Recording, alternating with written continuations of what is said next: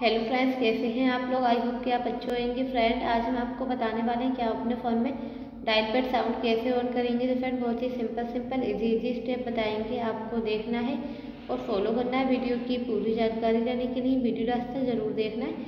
अगर फ्रेंड आपने मेरे चैनल को सब्सक्राइब नहीं किया है तो वे लाइक करवाइए चैनल को सब्सक्राइब कीजिए। तो फ्रेंड आपको ऑप्शन देखने को मिलता है फ़ोन में। यहाँ आपको ऑप्शन देखने को मिलेगा फ़ोन में। सेटिंग सेटिंग पे आपको ऑन करना ऑन करने के बाद में इस प्रकार का इंटरफेस ओपन होगा यहाँ पर आपको ऑप्शन देखने को मिल जाता है फ़ोन में। यहाँ पर आपको ऑप्शन देखने को मिलेगा फ़ोन में। साउंड साउंड पे क्लिक कर लेना। साउंड पे क्लिक करने के बाद में यहाँ पर आपको काफ़ी ऑप्शन देखने को मिलता है। जैसे कि हमें फ़ोन में डायल पर साउंड ऑन करना है तो डायल पर साउंड ऑन करने के लिए हमें सिस्टम साउंड पे क्लिक कर लेना। सिस्टम साउंड पे क्लिक करने के बाद में यहाँ पर आपको टच साउंड काफ़ी साउंड देखने को मिल जाते हैं। तो जैसे कि अपने फ़ोन में डायल पर साउंड ऑन करना है तो यहाँ पर आपको डायल पर कीपैड पर ऑन कर लेना है यहाँ से आपको ऑन करने के बाद भी इस प्रकार अपने फ़ोन में टाइल पर साउंड ऑन करेंगे।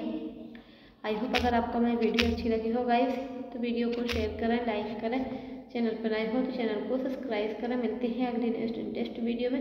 तब तक के लिए बाय टेक केयर